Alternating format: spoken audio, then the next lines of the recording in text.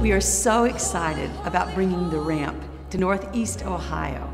I want to give you a special invitation to join Casey Doss, Micah Wood, Chosen, Catherine Mullins, and myself for a day and a half of just pursuing the presence of God.